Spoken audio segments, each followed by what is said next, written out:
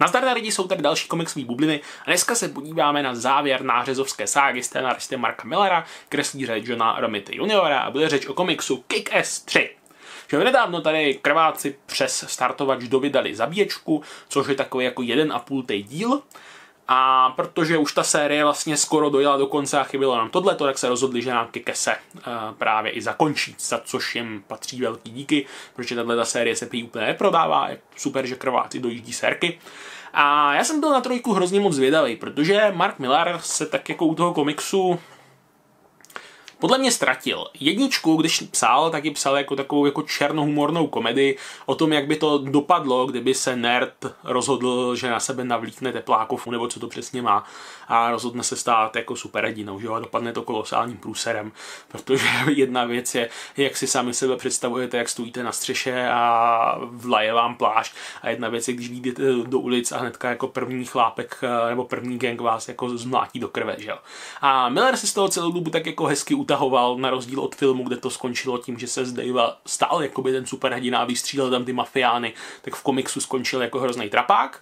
A potom přišla dvojka a ta dvojka byla úplně o něčem jiným. Ve dvojce se Millar snažil šokovat, snažil se být hrozně drsnej, eh, snažil se prostě bourat komiksový tabu. Vůbec nevím proč, jo, zabíjel tam zvířátka, znásilňoval tam, zabíjel tam děti. A celý to vlastně končilo, že jo, velkou epickou superdinskou rubačkou. Na jedné straně byli kladěsové, který vedl zabíjačka, na druhé straně záporáci, který vedl zuřivec. A vlastně ze všech těch postav se tak nějak stali, stali hrdinové, že jo když byli pak postaveni mimo zákon. No a trojka začíná tam, kde vlastně dvojka končila.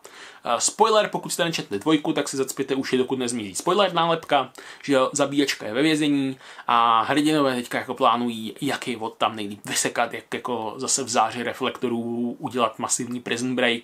Ale protože to jsou jenom ti trapní nerdi, který o tom jenom sní, tak samozřejmě neudělají nic, jakmile je známka prvního průseru a první známka toho, že se tam objeví policajti, tak vezmou do zaječí. Takže Mark Miller je zpátky, vrací ten kikes ke kořenům, vrací ho eh, k tomu prvnímu dílu eh, tady těch jakoby trapáků v kostýmech, který se snaží dělat dobro a sní o tom, jaký to budou velcí borci, ale ve skutečnosti jako jim to úplně tak nejde. Takže je tady spousta prostě fakt humorných situací, kdy eh, Miller kope do té své komunity. Krásný případ případ, jako kdy Dave truchlí u hrobu svých rodičů a je tam s ním ten kamarád a říká mu, hele, já jsem si taky přál, abych měl mrtvý rodiče, pak bych měl ten správný superhrdinský origin, měl bych tu motivaci, tak to jsou prostě výborné scény, eh, které prostě ukazují tady na tu, na tu nerdskou komunitu, jejich v té knižce hromada a prostě vrací se to k takovému tomu ne úplně černému humoru, spíš do takové komedie. E, není to tak jako cynický, jako byla jednička. E, dokonce tady má Miller i takový jako hezký poselství, spíš je to celý takový jakoby optimistický, on tu sérii vlastně že jo, zakončuje. Uzavřou se tady veškerý dějový linky kolem zuřivce, kolem zabíjačky, kolem samotného Kikese a Překvapilo mě, jak dobře to zvládl. Jo? Já jsem od něho čekal zase nějakou akční komedii, zase nějaký trapný, trapný hlášky, ale příběh má hlavu a patu, objevuje se tady vlastně nová hrozba v tom městě, že minule se vykydlili záporáci, takže teďka se tady vrací nějaký jako obávaný mafián, který chce zase sjednotit eh, podsvětí, pomstít smrt eh, těch předchozích mafošů, eh, pomstít ty, který vlastně spackali zuřivci život, takže vyhlašují vendetu těm, těm suprákům. A Drží mu to pohromadě, skvěle to graduje, říkám, má tam nějaký to poselství, má tam i nějaký myšlenky, které chce sdělit, což v těch předchozích kikesech ne, uh, jako nebylo.